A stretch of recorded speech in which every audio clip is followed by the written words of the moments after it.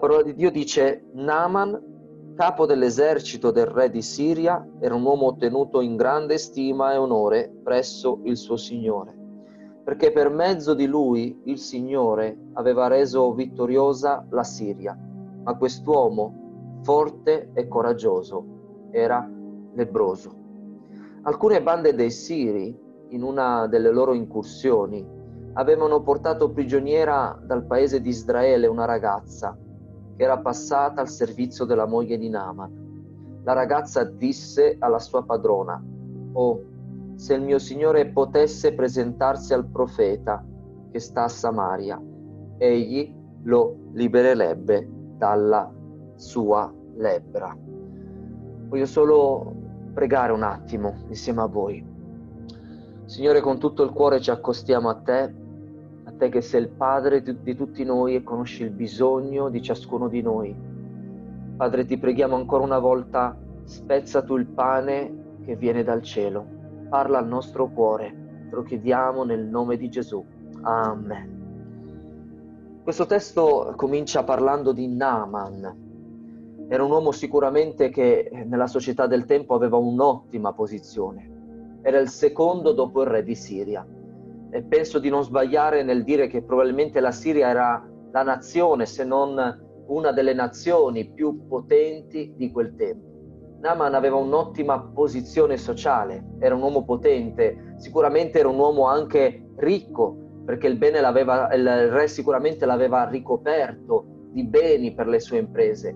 Eh, Naaman aveva il rispetto e la stima degli uomini, era onorato dal re della nazione. Immaginate eh, aveva avuto successo in ciò che faceva, aveva potere, ma quest'uomo nascondeva un problema, un problema che forse nelle sue apparizioni pubbliche era nascosto sotto i suoi, param- i suoi paramenti militari, era un problema che sfuggiva agli occhi dei più, però era un problema che non è sfuggito all'occhio di Dio perché è riportato nella sua parola.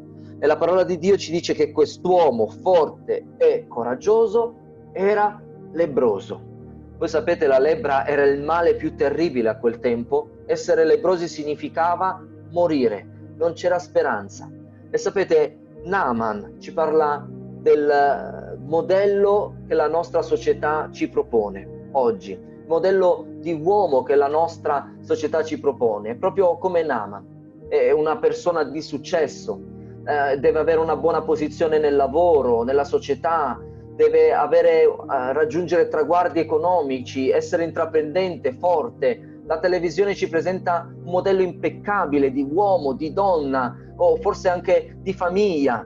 Non so quanti di voi si ricordano la pubblicità uh, del mulino bianco, eh, dove c'è la famiglia felice che si siede al tavolo e fanno colazione in pace, i bambini sono tranquilli, nessuno corre, nessuno grida, quando ho avuto, fi- ho avuto dei figli ho scoperto che era solo una pubblicità e non era una realtà perché la mattina qui da noi c'è un bambino che grida di qua, l'altro che corre di là, uno che fa cadere la brioche. E, e sapete, la, la, televisione, la società ci presenta un modello che è perfetto, quasi irraggiungibile. Però, sapete, il modello che ci presenta questa società non è reale e la società veste quest'abito di eh, potere, di perfezione e nasconde il dramma più grande, quello del peccato. Il peccato è la lebbra che tocca l'anima dell'uomo. Il peccato è la lebbra che tocca ogni uomo. È una società che vuole farsi vedere bella, appariscente, che veste il suo abito più bello, che nasconde questo problema, ma quel problema è lì e l'occhio di Dio arriva lì e Gesù essendo Dio guarda il bisogno nascosto del cuore dell'uomo ed egli dichiara con forza il campo è grande, il bisogno è grande, ma gli operai sono pochi. Ci sono tanti Naaman che ancora oggi, in questo tempo, stanno viaggiando a destra e a sinistra in quest'epoca e si vestono di questo vestito che la società gli ha cucito alla perfezione. Ma ancora Dio guarda dal cielo e dice il campo è grande e gli operai sono pochi. Pregate dunque il Signore della messe affinché spinga degli operai nella sua messe. C'è bisogno di operai se qualcuno oggi dovesse chiedermi qual è il bisogno più grande del campo di missione, non sono i soldi, non sono forse la possibilità di costruire nuovi edifici, no, il campo di missione, il campo di Dio ha bisogno di operai. E sapete, quando Gesù dice pregate che il Signore spinga degli operai nella sua messe, questo termine spinga ci parla quasi di una forzatura. Non so se avete visto mai quei cartoni dove c'è un personaggio che viene spinto e punta i piedi e l'altro dietro che continua a spingerlo nella direzione che vuole con forza. Bene, è, questo, è questa l'immagine che ci vuole dare Gesù. Pregate affinché il Signore spinga degli operai nella sua messe, perché dal punto di vista umano non c'è nessuna convenienza a servire il Signore, non c'è un'attrazione. Normalmente il cuore umano non sceglierebbe di lasciare tutto, di dedicarsi, di mettere la propria vita sull'altare per raggiungere i perduti. Per questo c'è un'opera che Dio compie, egli ci tira a sé con legami d'amore. E oggi vogliamo ancora dire, Signore, spingi degli operai nella tua messe, spingili mentre pregheremo. Chissà che Dio inizierà a muovere il nostro cuore, inizierà a parlare alla nostra vita e ci dirà sei proprio tu, sei proprio tu colui che deve andare, sei tu che devi lasciare tutto, sei tu che voglio spingere e con gioia noi faremo quello che Dio ci chiederà. E sapete, c'è bisogno di operai che sono disposti a servire Dio nonostante tutto come quella giovane che viene appena appena citata in questo testo, ma che ha una importanza fondamentale. Voglio sottolineare una parola, c'è bisogno di operai, non di pastori, poi vi spiegherò, non di missionari, non di evangelisti. Noi non vogliamo titoli, vogliamo essere operai nel campo di Dio. I titoli appartengono a questo tempo, siamo in questa eh, epoca, la Chiesa è organizzata in questo modo, gloria a Dio, ma quando saremo nel cielo Gesù, Gesù ci dirà, bene hai fatto mio buono e fedele servitore. Siamo servi nelle mani di Dio e vogliamo essere servi nelle sue mani. Servi operai disposti, non capaci. Non guardare le tue capacità. Dio non guarda a cosa sai fare, ma Dio guarda la disposizione del mio e del tuo cuore. E fino a che il nostro cuore sarà disposto, allora ci sarà spazio per me e per te nel campo di Dio. Sapete, quando eh, cercavo di capire la mia chiamata al servizio, eh, pregavo il Signore, dicevo Signore mi hai chiamato e Dio mi mise davanti questo testo, eh, mi, venne, mi venne davanti un'immagine. Immaginate un uomo, un agricoltore che ha un campo immenso, ha tanto da lavorare e, e qualcuno va da lui e dice guarda voglio lavorare per te, dammi possibilità e lui risponde no. È qualcosa di assurdo ma se Dio stesso sta dicendo il campo è grande e gli operai sono pochi, una cosa sola ti chiede il Signore, disposizione. E poi sicuramente ci sarà uno spazio, un posto anche per te nel campo di Dio. Ma vogliamo analizzare un po' quello che questa giovane fece e vogliamo prendere un insegnamento prezioso da questa giovane. Questa giovane fu disposta a servire Dio nonostante quello che lei era, nonostante se stessa questa ragazza, il testo non ci dice che aveva compiuto qualche miracolo, che aveva fatto qualche opera potente, non aveva un ministero profetico come Eliseo, che era un profeta del suo tempo, non aveva nessun titolo, era solo una schiava, era una schiava ebrea. Era semplicemente un vaso di terra, un vaso d'argilla, non era una ragazza che aveva un valore, anzi possiamo dire che a quel tempo per la condizione che viveva, la sua vita non aveva nessun valore davanti agli uomini. La sua vita era come un oggetto, era solo un vaso di terra, ma in quel vaso di terra Dio aveva posto un tesoro. E anche noi siamo vasi di terra, ma Dio ha posto un tesoro nel nostro cuore. E quello che quella giovane aveva, egli l'ha messo a disposizione per la causa dell'Evangelo o aveva forse solo una parola da spendere, non era molto, ma quello che aveva egli l'ha offerto al Signore. Mi viene in mente quella vedova che va a offrire nel Tempio e c'erano molti primi di lei, prima di lei che andarono ad offrire. E sapete, a quel tempo la cassa del Tempio delle offerte era fatta in modo che si sentisse il rumore delle monete che cadevano. E c'erano i ricchi che andavano e davano tanto, tanto, tanto per quel tempio, mentre lei aveva solo due spiccioli e forse pensava dentro di sé che differenza può fare con questi due spiccioli o senza questi due spiccioli il tempio andrà avanti comunque, ma lei non si tirò indietro e offrì quello che il Signore gli aveva messo nel cuore. E c'era anche un ragazzo che un giorno sentì parlare che Gesù veniva dalle sue parti a me piace usare un po' di fantasia mentre leggo i testi biblici, pur non allontanandomi dal contesto biblico. E immagino questo ragazzo che di fretta e furia scappa, corre via. È un ragazzo che sta bene perché la mamma lo ferma di colpo e dice aspetta, hai dimenticato la merenda. E la merenda è fatta di cinque pani e due pesci. Pensate, era l'unico che aveva qualcosa da mangiare in quel giorno. Si presenta lì, Gesù fa una bellissima predica, oh, tocca il suo cuore e dopo la predicazione vede i discepoli che discutono. Sapete che spesso gli uomini che sono, diciamo, Uh, scelti da Dio a volte non hanno le risposte, gli uomini che hanno un ruolo a volte non hanno le risposte, le risposte vengono da chi non ci immaginiamo. Quest'uomo si avvicina ai discepoli, gli, tirano, gli tira la tunica, gli dice io ho la risposta e presenta cinque pani e due pesci. Che cosa sono davanti a tanta gente? risponderà uno dei discepoli.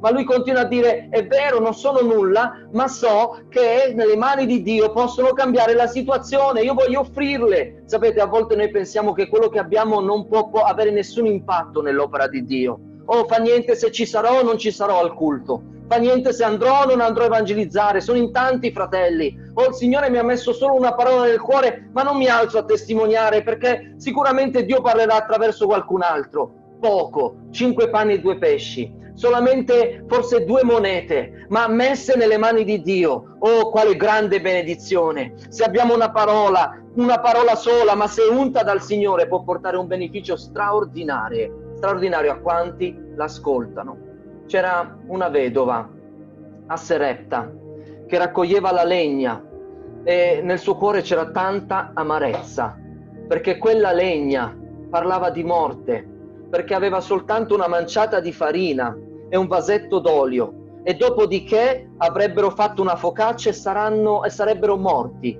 lui e lei e il proprio figlio. Le risorse che abbiamo a volte ci parlano di morte, di incapacità, ci parlano di insufficienza, ci parlano di inadeguatezza, non, non sono sufficienti neanche a sostentare noi stessi. Il profeta arrivò e gli disse che cos'hai? Una manciata di farina e un vasetto d'olio. Che bello quando confessiamo a Dio che cosa abbiamo. Che cos'hai? Signore, ho tanti fallimenti. Signore, ho tanto scoraggiamento. Signore, non ho nulla di, be- di buono in me. E il profeta dice, vai, fanne una focaccia per me e poi fanne anche per te. E lei decise di obbedire, decise di mettere quello che aveva nelle mani di Dio e ciò che parlava di morte fu una benedizione e fu qualcosa che portò vita alla sua esistenza e per quella, eh, per quella manciata di farina e per quel vasetto d'olio quella vedova continuò a sostentarsi. Che bello quando mettiamo tutto nelle mani di Dio. Non dobbiamo guardare i nostri fallimenti, non guardiamo alle nostre incapacità. L'Apostolo Paolo dirà, infatti fratelli, guardate la vostra vocazione, non ci sono fra di voi molti sapienti, secondo la carne, né molti potenti, né molti nobili, e questa forse è la realtà della Chiesa, ma Dio ha scelto le cose pazze del mondo per svergognare le cose, le sapienti. Dio ha scelto le cose deboli del mondo per svergognare le forti. Dio ha scelto le cose ignobili del mondo e le cose disprezzate, anzi le cose che non sono, per ridurre al niente le cose che sono. Servi Dio nonostante quello che tu sei. Oh, c'era Isaia che entra nel Tempio e davanti alla manifestazione della gloria di Dio lui esclama oh io sono perduto, scopre il suo peccato, scopre la sua inadeguatezza, ma gloria a Dio avviene un miracolo straordinario perché un angelo si avvicina all'altare, con le molle prende un tizzone dall'altare, gli tocca le labbra e dice ecco la tua iniquità è spiata, il tuo peccato è stato tolto. Oggi vi voglio dire che c'è molto, molto di più di un altare. C'è un'antica collina che si chiama Calvario e non abbiamo più un angelo, ma è lo Spirito di Dio che si avvicina a quel monte e non c'è più un tizzone ardente, ma c'è il prezioso sangue di Gesù e il sangue di Gesù viene a toccare il nostro cuore e c'è una voce dal cielo che dice ecco, è avvenuto, Gesù è morto, il tuo peccato è perdonato, sei una nuova creatura, ora puoi servirmi e poco dopo arriverà quella bella chiamata che conosciamo. Chi manderò? Chi andrà per noi? Isaia qualche istante prima era un uomo che diceva io sono perduto, sono un peccatore, vivo in, un, in mezzo a un popolo dalle labbra impure, ma poi dopo l'opera che Dio compie, è un uomo che pone fiducia in quello che Dio ha compiuto, non in quello che lui è, ma in quello che Dio ha fatto. E risponde, eccomi, manda me. Continuando la nostra meditazione, questa ragazza era disposta a servire nonostante le proprie paure. Che paura poteva avere questa ragazza? Prima di continuare voglio raccontarvi che all'inizio, eh, quando Dio stava chiamando la nostra vita, avevo paura di sbagliare. Cioè, oh, Signore, se sto sbagliando a fare questa scelta, eh, iniziai a pregare. E Dio mi, messe, mi mise davanti quel testo della parabola dei talenti. E quel servitore che non investì il talento, quando venne il padrone si giustificò in questo modo, non l'ho fatto perché ho avuto paura. La paura ci può fermare, la paura può a volte anche eh, bloccare il piano di Dio nella nostra vita. Non fermarti per paura. Io quel giorno ho fatto una preghiera davanti a Dio, non, de- non sto dicendo che la dovete fare anche voi, è un'esperienza personale, ma la mia preghiera è stata questa, Signore, io voglio camminare per fede. Se non è tua volontà, chiudi tu le porte, però voglio fare tutto quello che credo sia nella tua volontà. E preferisco arrivare in cielo e sentirmi dire Emanuele hai fatto tanto ma non hai capito niente, piuttosto che arrivare in cielo e sentirmi dire Emanuele ti avevo chiesto di fare questo e poi quest'altro e poi quest'altro e tu non l'hai fatto. Perché? Cosa risponderò in quel giorno? Perché ho avuto paura? Signore, liberaci dalla paura. Questa ragazza ha vinto la paura di perdere qualcosa. Era solo una serva, e se Naaman non avesse accettato il messaggio, una serva, una serva che aveva l'insolenza di parlare alla propria padrona in questo modo, e se Naaman non avesse creduto, lei forse sarebbe morta, la, la sua vita non valeva più di tanto. Ma quella giovane aveva reputato il messaggio che annunciava più prezioso della sua vita stessa. O oh, il messaggio che annunciava valeva di più anche se Nama non l'avesse accettato, anche se Nama l'avesse rifiutato, anche se lei doveva pagare con la sua vita stessa, o oh, lei diceva questo messaggio che ho vale di più della mia vita. Nel 1952 un gruppo di missionari raggiunse l'Ecuador per raggiungere le tribù che ancora non erano state raggiunte dall'Evangelo. E dopo anni di formazione e di preparazione raggiunsero, avvistarono una tribù del 1955. Erano così felici, ma questa tribù aveva la fama di uccidere tutti coloro che si introducevano nel loro territorio. Non avevano mai avuto un contatto con persone occidentali. E così questi cinque missionari instaurarono un primo contatto, ma dopo il primo contatto qualcosa andò storto. E, loro, questa tribù si iniziò a rivelare eh, eh, molto aggressiva verso di loro finanche che questi cinque missionari furono uccisi da questa tribù. Ma che pensate? Che non lo sapevano che rischiavano la vita? Che pensate?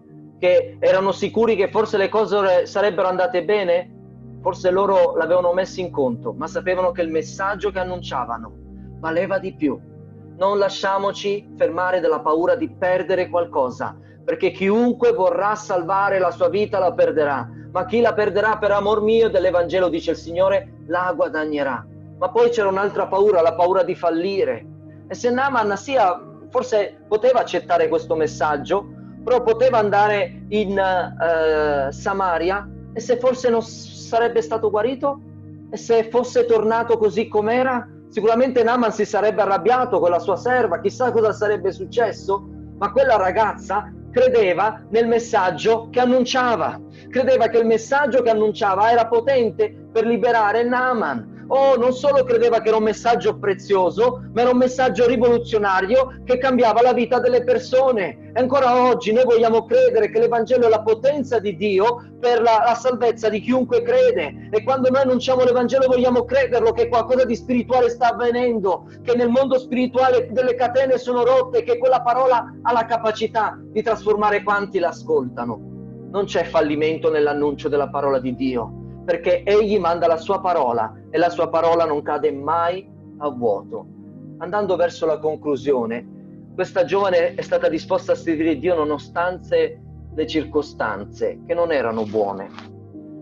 Questa giovane, eh, prima di essere serva, sicuramente aveva avuto una famiglia, aveva avuto dei sogni, delle ambizioni. Chissà, crescendo con la sua famiglia, desiderava e diceva ai suoi genitori da grande farò questo e quest'altro, vorrei sposarmi e vorrei avere dei bambini. Però a un certo punto tutto questo fu interrotto. Abbiamo letto e la Bibbia, guardate che quando ci dà i particolari ha sempre un motivo. Verso 2, alcune bande di Siri in una delle incursioni avevano portato una ragazza che era passata al servizio della moglie di Naaman. In un giorno, tranquillo come tanti altri, un rumore di cavalli lontani iniziò ad affacciarsi nella vita di questa giovane. E senza rendersene conto non sappiamo, forse i suoi genitori erano stati uccisi o erano stati separati, ma questa giovane fu strappata alla sua quotidianità. In un istante i suoi sogni erano stati distrutti, le sue ambizioni e si trovò eh, forse in un mercato di schiavi, in una cella, aspettando che qualcuno passasse per acquistarla e quel giorno passò Naaman che l'acquistò e divenne la serva di Naaman. Oh, quanti motivi per dire a Dio non parlerò più nel tuo nome. Oh, quanti motivi per dire a Dio non voglio servirti. Oh, è vero, ho sentito che Naman ha un problema, ma lui è stato colui che mi ha rovinato la vita. Non voglio parlare della tua salvezza, non voglio parlare della grazia che c'è nel mio Dio, non voglio parlare che c'è una soluzione per la sua vita. Però questa giovane serviva Dio nonostante tutto. E quella giovane aperse la bocca e disse a Naaman, c'è un Dio in Israele che può risolvere il tuo problema. Sapete, la storia di quei cinque missionari che, di cui vi ho raccontato non termina ma continua e la storia si fa più emozionante. Erano morti tutti e cinque. Sto parlando di Jimmy Elliott e di altri insieme a lui. Eh, altri che eh, uno di loro si chiamava anche Peter Fleming e altri insieme a loro. E, sapete, questi uomini erano morti e dal punto di vista umano sembrava tutto perso, ma c'era qualcosa nel cuore di almeno due delle loro mogli che continuavano a, continuavano a lavorare. Sicuramente sono state donne che hanno sofferto, donne che hanno pianto, donne che hanno visto i loro mariti andare lontani per servire il Signore e non li hanno più visti tornare. E sapete, Jimmy Elliott a quel tempo aveva un bambino, una bambina di un anno. Immaginate una donna che viene lasciata vedova nella foresta amazzonica dell'Ecuador in quel tempo, da sola con un bambino di un anno. Passarono due anni e mezzo e Dio parlava al cuore di quella donna. Non è ancora finito il lavoro, perché la morte di tuo marito non è stata vana, è stato piantato un seme e quel seme deve essere lavorato. E Dio la portava e la chiamava per andare in mezzo a quella tribù. E lei racconta, abbiamo fatto tre giorni di cammino in mezzo alla foresta e di navigazione sulla canoa per raggiungere quella tribù.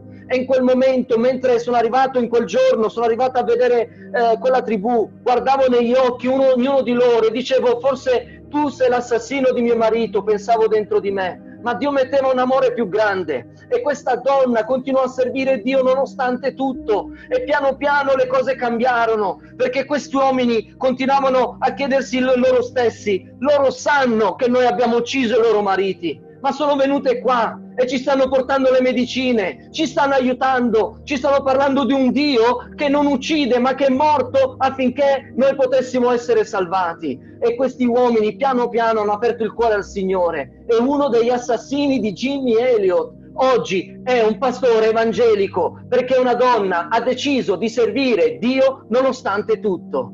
E io e te? Quante difficoltà forse abbiamo?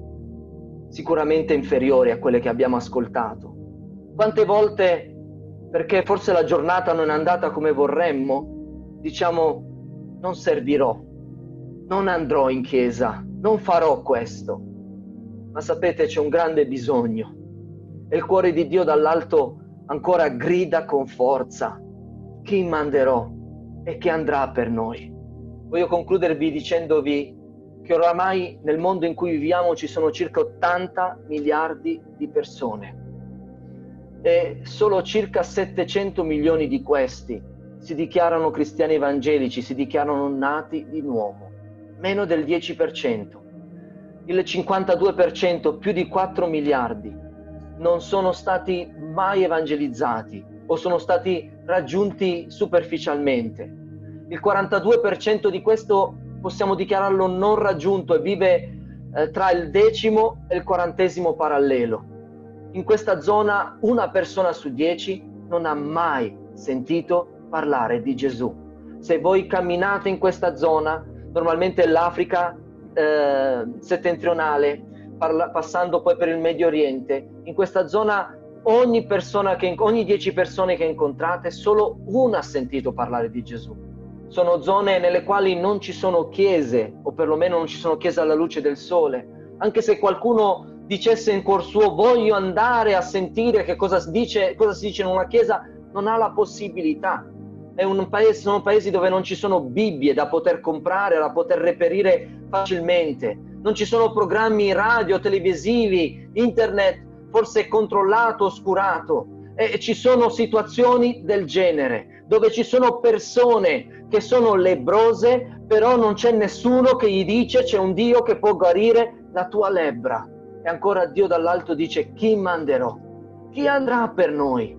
O forse non potrei andare, ma puoi pregare, puoi piangere davanti a Dio, puoi dire a Dio manda degli operai nel tuo campo, perché questo è il primo compito che ci chiede Gesù di pregare affinché egli spinga degli operai nel suo campo, di pregare affinché Naman sia raggiunto, di pregare affinché tante persone e tanti bambini possano essere raggiunti, bambini che crescono con insegnamenti sbagliati, in una cultura che li porta lontani da Dio. Alcuni credono che ci sono migliaia e migliaia di dei, altri crescono nell'ateismo più completo, come la Corea del Nord oppure il Laos, oppure altre nazioni eh, gli insegnano che esiste un Dio, ma non gli danno la chiave per arrivarci e cresceranno frustrati perché, frustrati perché cercheranno questo Dio forse con tutto il cuore, ma non arriveranno mai a trovarlo perché la chiave è Gesù e noi vogliamo parlare di Gesù, vogliamo raccontare di Gesù e vogliamo farlo con tutto il cuore.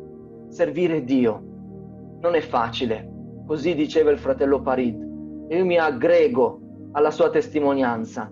Non è facile servire Dio, ma dobbiamo servirlo, nonostante quello che noi siamo. Il diavolo ti accuserà spesso, non sei degno. Non ascoltare la voce del diavolo, ma volgi i tuoi occhi verso la croce. Vogliamo essere disposti a servirlo nonostante le paure, le paure di perdere qualcosa, la paura di fallire. No, vogliamo credere che il messaggio che annunciamo è più prezioso di qualsiasi altra cosa. Anche se dovesse costare la nostra vita, il messaggio che annunciamo è più prezioso ed è un messaggio che non fallirà perché porterà un frutto eterno.